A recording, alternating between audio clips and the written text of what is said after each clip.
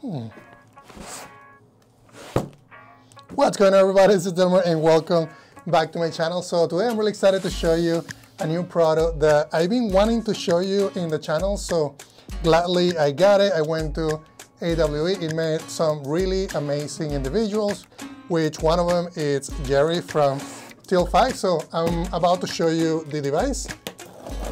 So let's go ahead and take a look at what we have here.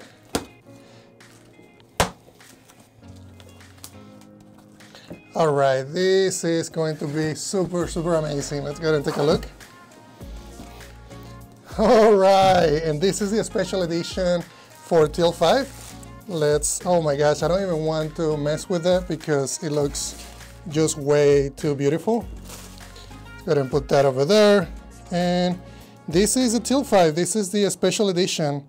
Uh, I think the, the colors and the drawings that they pick just reminds me of when I was, you know, really starting to do development for games. So let's go ahead and take a look. I'm gonna try to be as careful as I can. And you guys can see here, it has the steps to be able to get the glasses ready. So you gotta open the game board, we can plug in the glasses and also download and launch the game. So let's go ahead and see what we have. And the game board is pretty large. This is one of the ones that, that they ship. There's also one that I got from them, which is a lot smaller. It's better for if you want to do you know game streaming, then this is gonna be the one that it's going to be about 31 inches by 31 inches. I think it's about the size of the table that I have right here. This is a lot larger and I'll put the specs of this game board.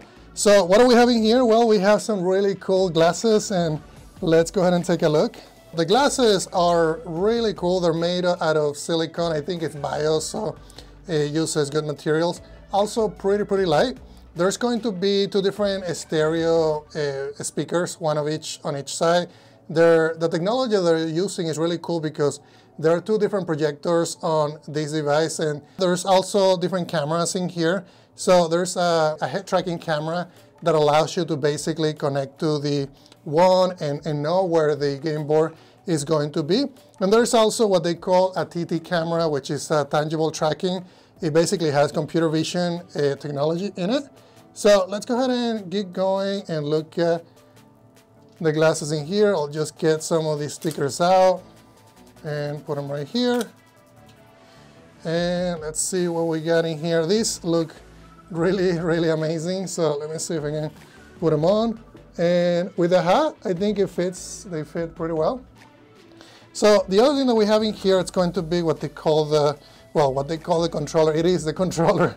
But the cool thing with this controller, and, and I read some of the articles that they've been posting, is a lot of people think that this is gonna be a barbecue lighter.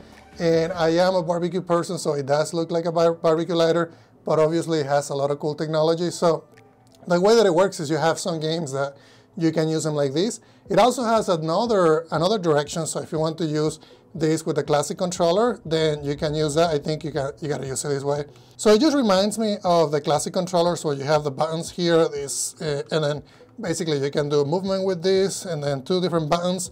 This controller has uh, six uh, degrees of motion, which is really cool because not only is going to track the rotation, it also tracks position. So if we get closer, then we're going to be tracking the position. There's also been calculations on the on this where it's tracking all that information in 3D space. So as you're playing and moving around, then it's aware of the 3D space, which therefore you know gets sent to the game engine that you're currently using. So this is the game one. And then we have a couple of cool things here. So if we look at here, there's a USB-C cable. There's really no battery on this device. The device connects to the host, and that's how the device is getting the power. So if we look at the controllers, they use the classic AA batteries. So there's, you know, two battery slots that you can use, and you can just basically close this. I'll just put the controller right here, and the USB-C cable. The next thing that I need to do is I need to set up that gaming area. This is where I'm going to be doing prototypes, and this game board is about 31 inches by 31 inches, which is about the size of the table that I currently have. Once you have everything set up, you're ready to connect the controller. We're gonna be connecting the controller via Bluetooth. Then once you get it set up, we can go into tiltfive.com and then developers. In the developer portal, you can download the drivers and also the SDK. If you want to know more about development with Tilt 5, make sure you watch my future videos where I'm going to be showing you how to set it up with Unity and how we can start porting some of our games to Tilt 5. Thank you very much, guys.